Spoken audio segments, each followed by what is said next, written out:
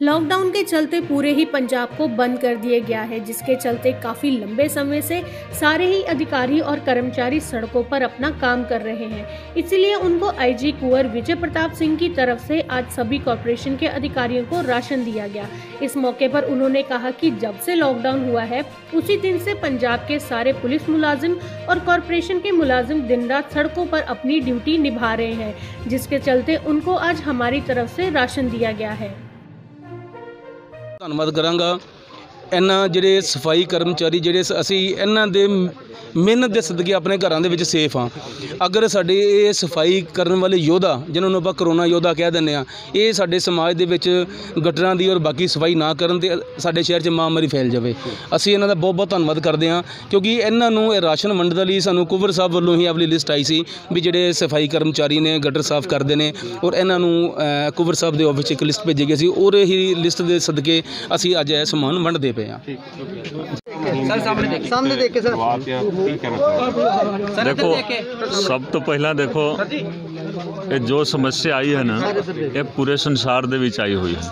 ਹਰ ਦੇਸ਼ ਆਪਣੇ ਆਪਣੇ ਤਰੀਕੇ ਦੇ ਨਾਲ ਇਸ ਦੇ ਨਾਲ ਮਤਲਬ ਨਿਪਟ ਰਿਹਾ ਹੈ। ਹਿੰਦੁਸਤਾਨ ਦੇ ਵਿੱਚ ਵੀ ਇਹ ਸਮੱਸਿਆ ਹੈ ਸਾਡੇ ਪੰਜਾਬ ਦੇ ਵਿੱਚ ਹਰ ਸ਼ਹਿਰ ਦੇ ਵਿੱਚ ਇਹ ਸਮੱਸਿਆ ਹੈ। ਤਾਂ ਅਸੀਂ ਸਾਰੇ ਕੋਸ਼ਿਸ਼ ਇਹ ਕਰ ਰਹੇ ਹਾਂ ਕਿ ਜੋ ਸਰਕਾਰੀ ਪ੍ਰਯਾਸ ਚੱਲ ਰਹੇ ਨੇ, ਉਹਨਾਂ ਪ੍ਰਯਾਸਾਂ ਦੇ ਵਿੱਚ ਵੱਧ ਤੋਂ ਵੱਧ ਮਦਦ ਕੀਤੀ ਜਾਵੇ।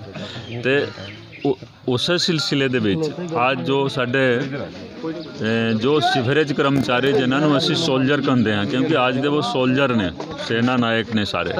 ਉਹਨਾਂ ਨੂੰ ਜਿਸ ਜਿਸ ਚੀਜ਼ ਦੀ ਕਮੀ ਸੀਗੀ, ਸਾਡੇ ਮਾਨਯੋਗ ਸਰੀਨ ਸਾਹਿਬ ਨੇ ਆਪਣੇ ਐਨਜੀਓ ਦੇ ਥਰੂ ਉਹਨਾਂ ਵਾਸਤੇ ਜੋ ਕਿੱਟ ਵਗੈਰਾ ਦੇਣਾ ਸੀ, ਉਹਦਾ ਅਰੇਂਜਮੈਂਟ ਇਹਨਾਂ ਨੇ ਕੀਤਾ ਸੀ। ਤੇ ਅਸੀਂ ਵੱਧ ਤੋਂ ਵੱਧ ਜੋ ਹੋ ਸਕਦਾ ਹੈ, ਇਹਨਾਂ ਨੂੰ ਅਸੀਂ ਪ੍ਰੋਵਾਈਡ ਕਰ ਰਹੇ ਹਾਂ। ਕੁਮਾਰ ਸਾਹਿਬ ਆਉਣ ਵਾਲੇ ਸਮੇਂ 'ਚ ਵੀ ਤੁਸੀਂ ਇਸ ਤਰ੍ਹਾਂ ਦੇ ਪ੍ਰਯਾਸ ਜਾਰੀ ਰੱਖੋ। ਦੇਖੋ ਜਦੋਂ ਤੋਂ ਇਹ ਸ਼ੁਰੂ ਹੋਇਆ ਹੈ ਨਾ ਉਦੋਂ ਤੋਂ ਸਾਡਾ ਪ੍ਰਯਾਸ ਜਾਰੀ ਹੈ। ਤੇ ਜਦੋਂ ਤੱਕ ਚੱਲੇਗਾ ਕਿਉਂਕਿ ਦੇਖੋ ਅੰਮ੍ਰਿਤਸਰ ਦੇ ਵਿੱਚ ਜਾਂ ਪੰਜਾਬ ਦੇ ਵਿੱਚ ਜੋ ਦਾਨੀ ਸੱਜਣ ਨੇ ਉਹਨਾਂ ਦੀ ਕੋਈ ਕਮੀ ਨਹੀਂ ਹੈ। ਤੇ ਅਸੀਂ ਕੋਸ਼ਿਸ਼ ਇਹੀ ਕਰਾਂਗੇ ਕਿ ਜੋ ਸੋਸ਼ੀਓ ਰਿਲੀਜੀਅਸ ਸਮਾਜਿਕ ਧਾਰਮਿਕ ਸੰਸਥਾਵਾਂ ਨੇ ਉਹਨਾਂ ਦੇ ਸਹਿਯੋਗ ਦੇ ਨਾਲ ਅਸੀਂ ਇਹ ਪ੍ਰਯਾਸ ਅਸੀਂ ਜਾਰੀ ਰੱਖਾਂਗੇ। ਤੁਸੀਂ ਸਮਝਦੇ ਹੋ ਕਿ ਇਸ ਕਰੋਨਾ ਦੇ ਨਾਲ ਪੰਜਾਬ ਦੇ ਕਈ ਮਸਲੇ ਜਿਹੜੇ ਨੇ ਕਿਤਨਾ ਕਿਤੇ ਠੱਪ ਹੋ ਗਏ ਨੇ।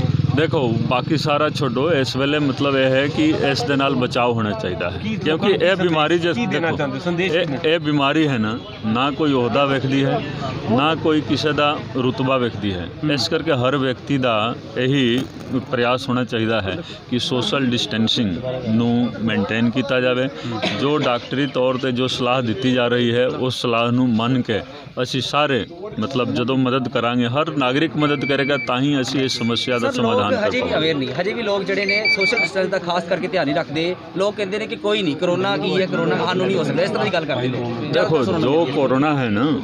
ਉਹ ਦੇਖੋ ਦੇਖੋ ਸਾਡੇ ਮਤਲਬ ਤੁਸੀਂ ਦੇਖੋਗੇ ਨਾ ਇੰਡੀਆ ਦੇ ਵਿੱਚ ਜਾਂ ਪੰਜਾਬ ਦੇ ਵਿੱਚ ਥੋੜੀ ਸੀ ਇਮਿਊਨਿਟੀ ਜੋ ਹੈ ਨਾ ਉਹ ਥੋੜਾ ਜ਼ਿਆਦਾ ਹੈ। ਇਮਿਊਨਿਟੀ ਕਰਕੇ ਜੋ ਦੇਖੋ ਪ੍ਰੋਬਲਮ ਘੱਟ ਹੈ ਲੇਕਿਨ ਇਹਦੇ ਨਾਲ ਕੋਈ ਖਿਲਵਾੜ ਨਹੀਂ ਕਰਨਾ ਹੈ। ਮੈਂ ਤਾਂ ਇਹੀ ਕਹਾਂਗਾ ਕਿ ਇਹਦੇ ਨਾਲ ਖਿਲਵਾੜ ਨਹੀਂ ਕਰਨਾ ਹੈ। ਜੋ ਦਿਸ਼ਾ ਨਿਰਦੇਸ਼ ਆ ਰਹੇ ਨੇ ਉਹਨੂੰ ਫੋਲੋ ਕਰਨਾ ਚਾਹੀਦਾ ਹੈ। ਸਮਝਦੇ ਕਿ ਪੰਜਾਬ ਪੁਲਿਸ ਨੂੰ ਵੀ ਜ਼ਿਆਦਾ ਸੜਕਾਂ ਤੇ ਰਹਿ ਰਹੀ ਹੈ? ਉनको ਉਹਨੂੰ ਵੀ ਜਰਾ ਕਿਤਨਾ ਕਿਤੇ ਕਰਨਾ ਚਾਹੀਦਾ ਦੇਖੋ ਹਰ ਵਿਅਕਤੀ ਨੂੰ ਕਰਨਾ ਚਾਹੀਦਾ ਹੈ। ਪੰਜਾਬ ਪੁਲਿਸ ਨੂੰ ਖਾਸ ਕਰਕੇ ਡਾਕਟਰ ਸਾਹਿਬਾਨ ਨੂੰ ਤੇ ਇਹ ਜਿਹੜੇ ਸਾਡੇ ਸਫ਼ਾਈ ਕਰਮਚਾਰੀ ਜਿਹੜੇ ਨੇ ਜੋ ਕਿ ਸਭ ਤੋਂ ਵੱਡੇ ਸੋਲਜਰ ਨੇ ਇਹ, ਠੀਕ ਹੈ ਕਿ ਨਹੀਂ ਹਰ ਇੱਕ ਵਿਅਕਤੀ ਨੂੰ ਇਹਨੂੰ ਫੋਲੋ ਕਰਨਾ ਚਾਹੀਦਾ ਹੈ। ਸ਼ੁਕਰੀਆ ਤੁਸੀਂ ਬੋਲੋ ਜੀ कैमरामैन सोनू सोडी के साथ विशाल शर्मा लाइव अमृतसर लाइव अमृतसर को लाइक करें फॉलो करें और सब्सक्राइब करें नोटिफिकेशन के लिए बेल आइकन दबाना ना भूलें आपका हर कमेंट हमारे लिए प्रोत्साहन का काम करता है